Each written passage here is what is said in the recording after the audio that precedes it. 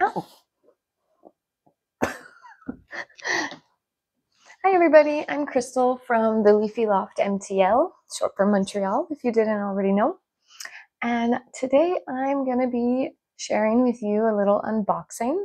This is just a small order that I made. It's only two plants, but one of them is very exciting. and I'm sure you noticed in the heading of the video, it is a, and excuse me if I pronounce it incorrectly, but it is a philodendron polypodoides. I believe that's how you say it, or polypod podioidois. I don't know. It's hard to say. It's a, a weird name. Um, anyway, so I've wanted this one for a really, really long time. Um, I've been waiting and waiting and waiting for the price to come down because it was ridiculously priced um, because of its rarity. Um, a while back, it was rarer than it is now. It's starting to come into the market a little bit more, so the price is still high, but it's more reasonable. There was a point when it was about a thousand, and then it was down like six, eight hundred. And at the moment, I think I'm seeing it between like 150, 200, 250, 300, 400, depending on where you go. But uh, it is dropping. Um, so I finally have it. I'm so excited. And this order, like I was waiting for it all day. If you follow me on uh, TikTok or Insta, you probably saw me. I made a little joke video about it because I was just so excited. I was like checking outside all the time. Every time I heard a noise, I was like, is that it? Is that going to be it? so it's finally here. It's in my hands. Yay! And there's a second plant in here as well, which I'll leave as a surprise just so that there's some fun surprise in this. Um, okay, so I'm going to very carefully open up the box.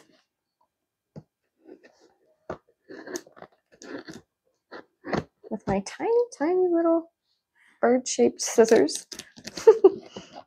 Maybe you can't see from there, but they are little gold bird design like a crane.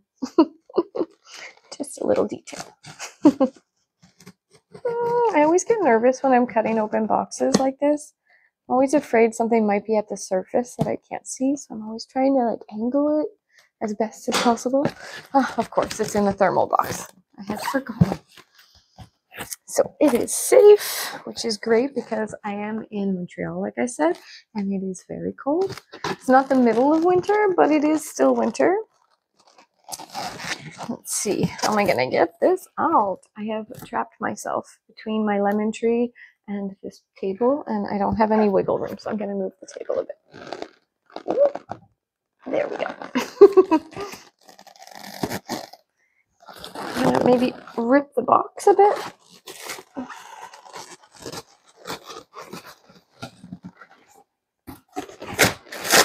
Okay.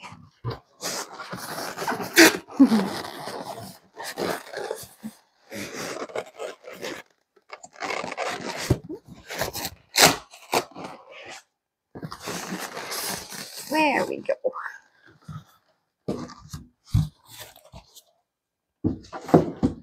And now the second box. this one might be squeaky and loud, so if that kind of noise bothers you when I pull the tape off, you might want to like turn down the volume for a second. It might be fine, but it might be loud on the microphone.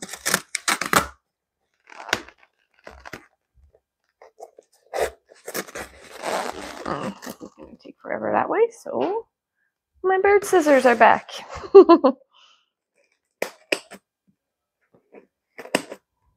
we go.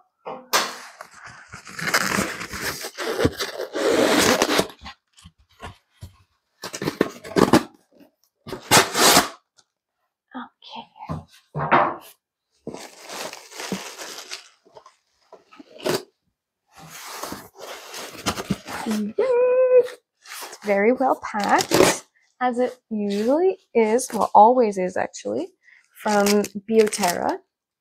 Um, that is a kind of local. Um, a plant seller near me, um, not exactly in Montreal, but in Quebec. And his name is Stan.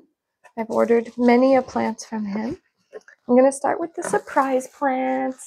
the one I didn't name yet.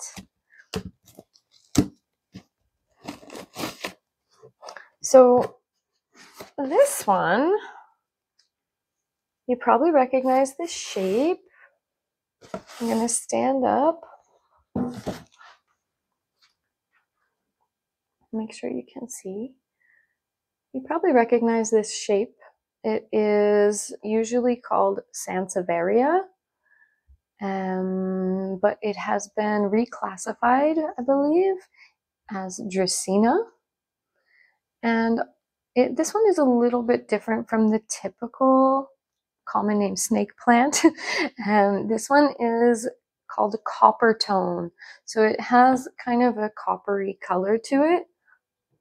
And it looks like greenish and it has like a, a coppery undertone mixed in. And the more light it gets, the more coppery it'll get. And the edges are also a little red. It's quite beautiful. It's another one that I've wanted for a while. I, I really like the Dracaena or Sansevieria, whatever you prefer to say. I really like that uh, group of plants. So I'm excited to add another one of them. They're really easy care, which is always appreciated. Um, a lot of people say you can put them in super dark places in your house. And I mean, you can, but only for so long. Like they still thrive in a lot of sun. So it's better to put them in high light location if you can. So that's what I'm gonna do.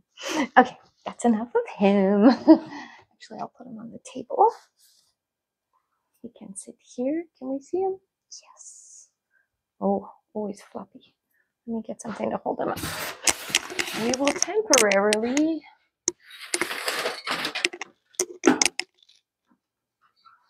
Mm. I will put him in this little thing. Perfect. I didn't even plan that. I literally just reached over to a giant pile of pots that I had sitting there and it just happened to be the perfect size. okay, so we'll put him here for our scene. The last one, the philodendron polypoioides these days, polypodoides. oh my god, I can't believe it. I'm so happy. To be very gentle.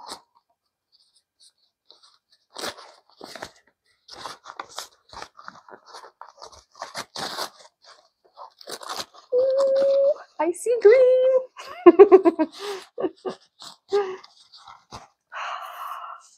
So happy. You know, I love all plants, literally all of them. But sometimes one kind of like sticks with you. I'm sure you know what I'm talking about. And this is one of those ones that the first time I saw it, I was just in love and I was like, that is special to me. I'm really, really happy that it's finally happening. Ah, there he is. So this one looks a little yellowed, but I mean, it's just gone through shipping, so it's pretty, it's in pretty good condition for something that just shipped. Look at those beautiful, beautiful fork-like or palm-like leaves. I mean, in general, it's kind of palm-ish. and I say fork-like because the tips here, uh, like at the base where the leaf meets the petiole, there's this part that you can see, and there's also these other two parts that are reminiscent of a fork. See that? And that's actually one of the ways that you can differentiate the polypoioides from the tortum. My tortum is still very young, so it's like it's not doesn't look that much similar right now but when they grow up they look very similar um, and the difference is that the tortum just has the one leaf stem, whereas stem isn't the right word. The one the one prong and the the polypoidoides has three prongs like a fork almost. So there's the tortum, the side, the poly. I'm gonna just say poly so I don't like stumble over the name over and over. That's why I brought the tortum here was to compare for you. Um, another difference between the two of them is also when the new leaves come out. Um, the poly new leaves come out, uh, I believe, I haven't seen it in person, but um, I believe they come out with a reddish color when they first open and they are like all crumpled together and they slowly unfurl in like a really cool way. And the tortum ones do the same cool unfurling, but they come out like a pinkish brownish green somewhere in between. so there's a pinky hue and a red hue. And I believe that's the difference. We'll see. There's not that much information online about the poly. Um, so, I mean, I don't have like exact information to share, but I can tell you that what I have found is that it is um, a subspecies of the Philodendron pedatum, and that explains the shape, that very pedatum shape, that fork structure. And um, I actually saw online someone was selling what they called.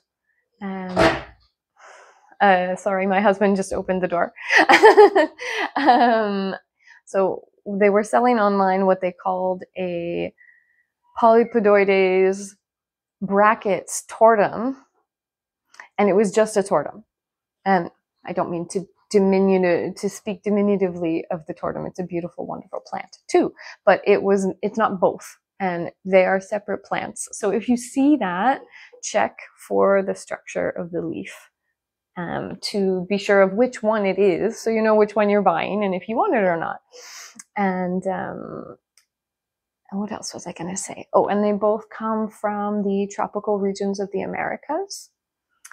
And I believe from what I've been able to track down, I believe they have very similar uh, care to the average philodendron. So I'm not too worried.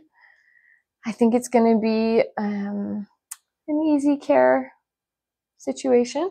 And I'm gonna put it in a terracotta pot, which I love to use. I love terracotta in general, especially for philos. And yeah, I think that's it. I think that's all I was gonna say about it today.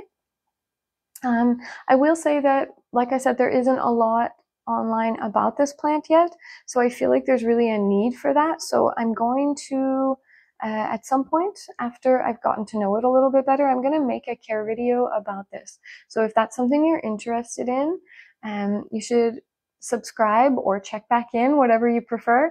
And uh, eventually there will be care video to help you if you end up adopting one of these beautiful, gorgeous tropical plants. That's it for today. Thank you for being here, and I hope you enjoyed the video. If you enjoyed it, please like, subscribe, etc. You can also follow me follow me on TikTok or Instagram. And I also have a private group on Facebook. All of them are under the same name, the Leafy Loft MTL. Bye for now.